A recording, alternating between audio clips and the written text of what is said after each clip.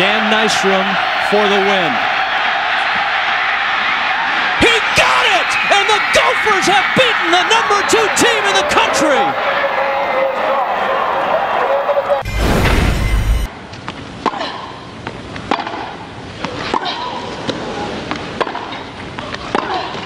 Yes, she's done it. She's put Davenport out.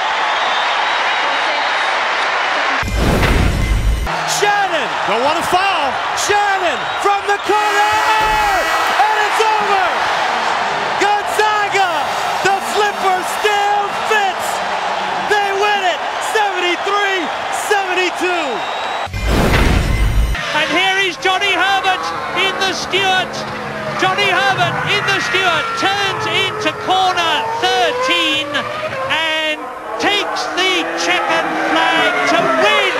And there is Jackie Stewart. Wow, oh, words fail me.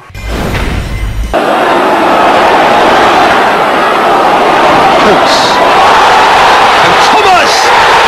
One more Swansea! A truly venomous strike from Martin Thomas.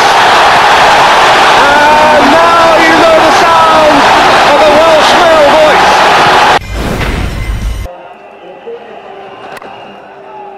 Good looking shot. Could be a chance of a run out. There's going to be a little peel here, and he's, he's calling for the third umpire. And there's absolute chaos here. There is absolute chaos. People coming from everywhere, and the game is not over yet.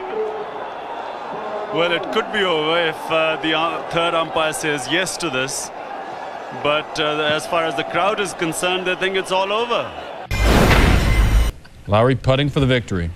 1999 British Open is his. The Scotsman does it. He kiss- kisses the jug, and they got to get the name right on that now.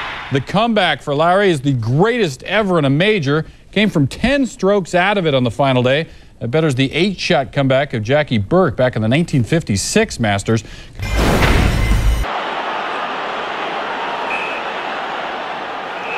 That is it. The end of an amazing tussle. And history has repeated itself. Samoa, to the delight of Bryan Williams, have repeated their victory over Wales in the World Cup in 1991. Mehrtens getting it round. Umaga's dropped it. Hacked away by Mania. He and Bernat-Salles are after it. Mania chases on. Wilson's got a hell of a lot to do.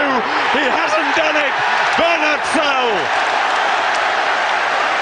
The try is given. Bernat-Salles has surely won this game for France.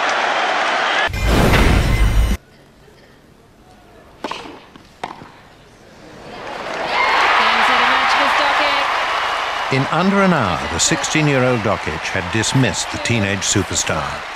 Hingis had found herself outplayed and out of contention.